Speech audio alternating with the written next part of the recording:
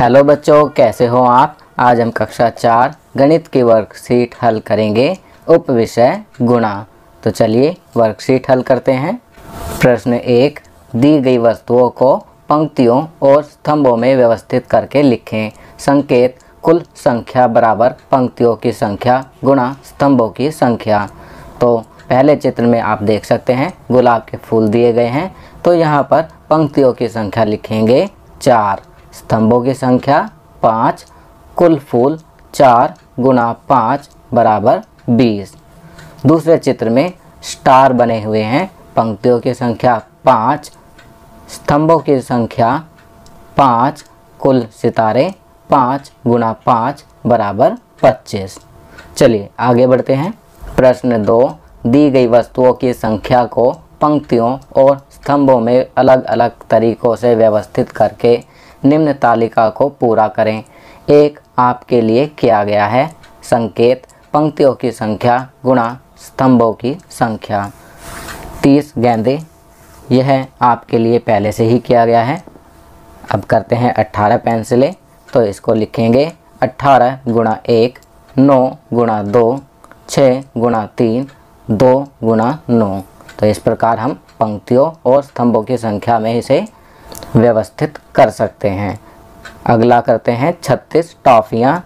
तो इसे लिखेंगे छत्तीस गुणा एक अट्ठारह गुणा दो, बारह गुणा तीन, नौ गुणा चार। चालीस बटन इसे करते हैं। चालीस गुणा एक, बीस गुणा दो, दस गुणा चार, आठ गुणा पाँच। तो इस प्रकार हम इन्हें पंक्तियों की संख्या और स्तंभों की संख्या में व्यवस्थित कर सकते हैं। चलिए आगे बढ़ते हैं। प्रश्न तीन, बारंबार जोड़ विधि द्वारा निम्न प्रश्नों को हल करें। एक, आपके लिए किया गया है। पहला, आप देख सकते हैं, तीन गुणा दो बराबर तीन जमा तीन बराबर छः तो यहाँ पर तीन को दो बार लिखा गया है। दूसरा करते हैं, दो गुणा तीन तो यहाँ पर दो को तीन बार जमा करेंगे। दो जमा दो जमा दो बराबर छः। इसी प्रकार तीसरा करेंगे, छः गुणा पाँच तो छः को पाँच बार जमा करेंगे। तो बराबर आएगा तीस। चौथा करेंगे, नौ गुणा सात तो नौ को सात बार जमा करेंगे तो आएगा तिरसठ। चलिए अगला करते हैं। प्रश्न चार, चार्ट एक में पाँच और आठ के पहाड़ों को जोड़ करके तेरह का पहाड़ा बनाकर दिखाया गया है। इसी तरह चार्ट दो में दो पहाड़ों का जोड़ करके पंद्रह का पहाड़ा बनाते हुए तालिका पूरी करें। तो आप देख सकते हैं, चार्ट एक में पाँच का पहाड़ा जमा आठ का पहाड़ा बराबर तेरह का पहाड़ा बनाया गया है।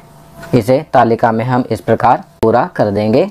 चार्ट दो में हम यहाँ पर लिखेंगे पाँच का पहाड़ा और दस का पहाड़ा। तो इन दोनों के जोड़ से पंद्रह का पहाड़ा बन जाएगा।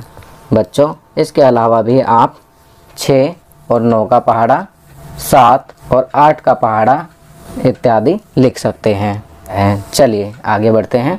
प्रश्न पाँच, लंबी गुणन विधि का प्रयोग करके निम्न प्रश्नों को हल करें।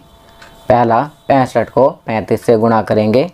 तो पहले हम पैंतीस में पाँच दाहिने हाथ की तरफ़ की संख्या से गुणा शुरू करते हैं। पाँच को पहले पाँच से गुणा करेंगे, पच्चीस आएगा, पच्चीस का पाँच लिखेंगे। दो को कैरी फॉरवर्ड करेंगे, दो को हासिल लेंगे। फिर पाँच को छः से गुणा करेंगे, पाँच छः तीस और उसमें दो जोड़ेंगे तो बत्तीस तो यहाँ बत्तीस तो यहाँ संख्या हुई तीन सौ पच्चीस। अब इसी प्रकार तीन से गुणा करेंगे पाँच की, तीन, पंजे, पंद्रह का पाँच। बच्चों, यह ध्यान रखना है, पहली संख्या से गुणा करने के बाद जब दूसरी संख्या से गुणा करते हैं तो हम दाहिने हाथ की जो पहली संख्या है, उसके नीचे गुणा का निशान या ज़ीरो लिखते हैं। वहाँ हमें कोई संख्या नहीं लिखनी है। तो इस प्रकार ये दोनों प्रश्न मैंने आपके लिए हल कर दिए हैं, जिन्हें देखकर आप आसानी से इन्हें हल कर सकेंगे। चलिए आगे बढ़ते हैं। जीवन कौशल तापमान। प्रश्न एक, नीचे दिए गए थर्मामीटर में फ़ारेनहाइट पैमाने व सेल्सियस पैमाने पर कौन कौन से तापमान डिग्री दिए गए हैं? बच्चों, आप इस थर्मामीटर को ध्यान से देखेंगे तो आप पाएँगे इसमें डिग्री सेल्सियस और फ़ारेनहाइट पर अलग अलग अंक दिए गए हैं। तो यहाँ हम लिखेंगे फ़ारेनहाइट पैमाने पर चौरानवे से 108 तक अंक हैं। सेल्सियस पैमाने पर 45 से लेकर 42 तक अंक हैं। चलिए, प्रश्न दो करते हैं। प्रश्न दो, हमारे शरीर का सामान्य तापमान कितना होता है? तो यहाँ लिखेंगे, सैंतीस डिग्री सेल्सियस या अट्ठानवे दशमलव छः डिग्री फ़ारेनहाइट। प्रश्न तीन, अपने शरीर का तापमान मापकर नोटबुक में लिखो। बच्चों, यदि आपके घर में थर्मामीटर है तो आप सभी अपने अपने शरीर का तापमान मापकर अपनी नोटबुक में लिखेंगे। आपकी सुविधा के लिए मैं यहाँ अपने शरीर का तापमान मापकर नोटबुक में लिख रहा हूँ, सैंतीस डिग्री सेल्सियस। प्रश्न चार, यदि थर्मामीटर में मापने पर आपके शरीर का तापमान 100 डिग्री फ़ारेनहाइट आता है तो इसका क्या अर्थ है? तो इसका अर्थ होता है कि हमें बुखार है। तो बच्चों, ये वर्कशीट यहाँ कंप्लीट होती है। अगर ये वीडियो आपको अच्छी लगी तो इसे लाइक एंड शेयर ज़रूर करें। अन्य विषयों पर बने हमारे लेटेस्ट वीडियोस को देखने के लिए चैनल को सब्सक्राइब करना ना भूलें और देखते रहिए हमारा channel knowledge kingdom thank you